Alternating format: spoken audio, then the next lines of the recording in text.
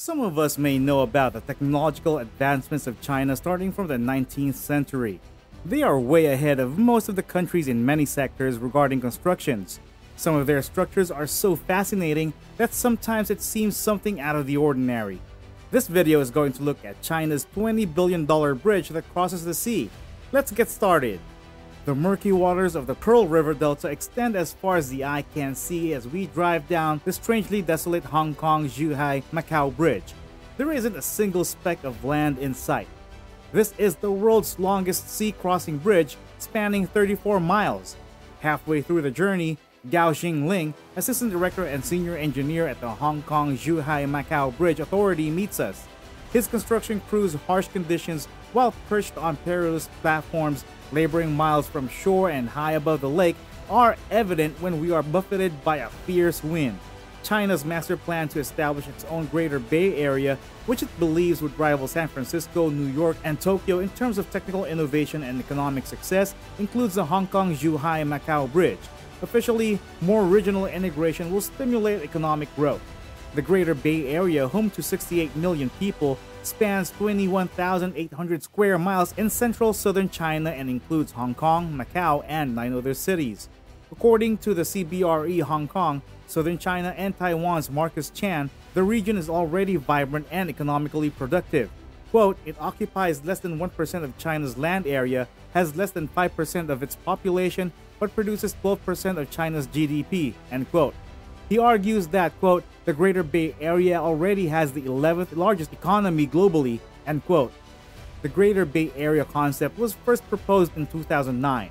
Still, several impediments connecting cities have been impeded progress, adds Chan. There are three borders, three legal systems, and three currencies Hong Kong, China, Macau, China, and Hong Kong, Macau. Residents also have three passports and speak two languages, which are Cantonese and Mandarin.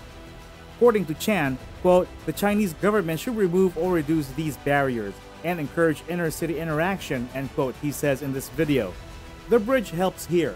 It will reduce travel time between the three cities from 3 hours to 30 minutes. As of now, the east and west coasts of the Pearl River Delta are very different economically. Hong Kong, Shenzhen, and Dongguan are much better off than Zhuhai, Jiangmen, and Zhongshan. He claims the bridge will help export items manufactured on the west side to the east side's air and sea ports, including Hong Kong's international airport. The bridge will also promote tourism.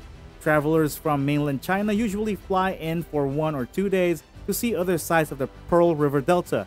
After the bridge opens, tourists from China and other nations can travel to Macau and the mainland in around 45 minutes.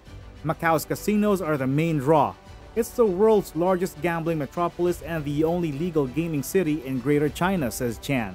With its tropical temperature and abundant foliage, Zhuhai is a family-friendly resort. On Hengqin, an offshore island, holiday resorts, theme parks, and golf courses are built. The bridge isn't the only cross-border project. Two major projects, the Guangzhou Shenzhen Hong Kong Express Rail Link and the Liantang Hengyuan Boundary Control Point, are set to launch later this year. Chan sees the region as China's most attractive tourist hotspot, but not everyone agrees. Claudia Mo, an independent member who advocates greater democracy in Hong Kong, says the bridge is a waste of money. We already have air, sea, and land connections between the mainland and Hong Kong. Why do we require this additional project? Mo, like other detractors, believes that the bridge's construction was a political act. Beijing has increased its control of Hong Kong in the aftermath of Occupy Hong Kong. This pro-democracy movement shook the province in 2014. Opponents perceive the bridge as a tool for controlling and forcing assimilation. In a literal sense, you can't perceive the current transportation linkages. However, this bridge is quite visible. You can see it from the plane while flying into Hong Kong, and it's spectacular, explains Mo. It's almost like an umbilical cord that connects Hong Kong and China. You know you've been linked to the motherland when you see it. Mo argues that Hong Kong's roads will not handle the additional vehicular traffic that the bridge will bring. The territory does not require any other tourists. Hong Kong is bursting at the seams. We already have more visitors than the entire United Kingdom. In 2016, Hong Kong welcomed 56.7 million tourists compared to 37.6 million in the United Kingdom. In addition, Mo believes Hong Kong has overspent on the bridge. The three regional governments that participated in the project accepted financial responsibility for sections within their own territory and divided the expense of the central bridge that connects them, which is 14 miles long. According to information provided by the Hong Kong Zhuhai Macau Bridge Authority, the main bridge's overall cost was $7.56 billion, with $4.32 billion in bank loans. Don't forget to hit the like button and subscribe to this channel to stay tuned for more exciting videos. Hong Kong put up $1.38 billion of the remaining $3.24 billion, slightly less than Zhuhai, which is $1.43 billion, which received financial help from China's central government, but significantly more than Macau, which is $0.43 billion, the smallest of the three cities with a population of 610,000. According to a Transport and Housing Bureau spokesperson, Hong Kong spent an additional $4.57 billion on its boundary crossing facilities and $3.19 billion on a connecting road from the main bridge to the boundary crossing. The overall bill for Hong Kong is more than $9 billion. But, as Ma points out, quote, Hong Kong has had to fund a large chunk of the bridge, end quote. While the bridge's necessity is questionable, it is undeniably an engineering marvel. It's 400,000 tons of steel, 4.5 times the Golden Gate bridges, and built to withstand an earthquake of magnitude 8, a super typhoon, and collisions with super-sized cargo ships. Gao said the most technically tricky element was building a 4-mile-long underwater tunnel. A tunnel is required to avoid traffic jams in the Pearl River Delta.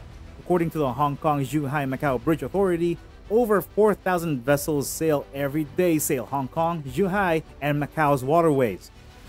Gao claims the tunnel comprises 33 components that are 590 feet long, 125 feet wide, and 37 feet high. Each piece is practically an aircraft carrier in size and weight. Towboats and floating pontoons transported the elements from Guishan Island in Zhuhai to the building site. So, we constructed a foundation trench in the seabed, built a rock bed, and then submerged it. The tunnel joins 2 million square foot man-made islands in the shallow sea. Xinglin claims that creating islands from scratch was also tricky. The 120 gigantic hollow steel cylinders formed the structural frame every 165 feet in diameter and weighed 550 tons. Gao told CNN steel buildings were built in Shanghai and brought to the site. The team used hydraulic hammers to drive the cylinders into the seafloor and then filled them with sand. It's no surprise Gao has had sleepless nights. The bridge has been criticized since its inception, Environmentalists like WWF and the Hong Kong Dolphin Conservation Society say its development has further endangered Hong Kong's endangered Chinese white dolphin population. The Hong Kong Highways Department said, quote, the infrastructure is carefully placed to avoid the Chinese white dolphins activity areas, end quote. The construction technologies used have also been chosen to minimize the impact on the marine environment.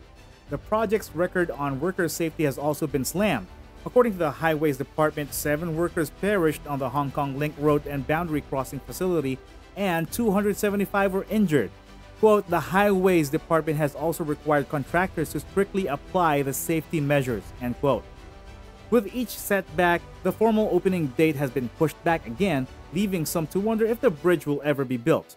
Officials are finalizing preparations for customs arrangements and operations at checkpoint sites, determining responsibilities for emergency rescue missions and negotiating toll pricing.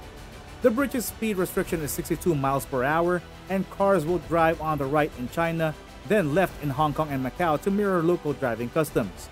This vacant ocean roadway will soon be crowded with vehicles, buses, trucks, and lorries bound for China, Hong Kong, and Macau. No one knows how much better connected China's Greater Bay Area will be or how much closer Hong Kong and Macau will be to China's mighty embrace. What are your thoughts on China's longest sea bridge? Let us know your thoughts in the comments area below. Don't forget to hit the like button and subscribe to this channel to stay tuned for more exciting videos. Thanks for watching!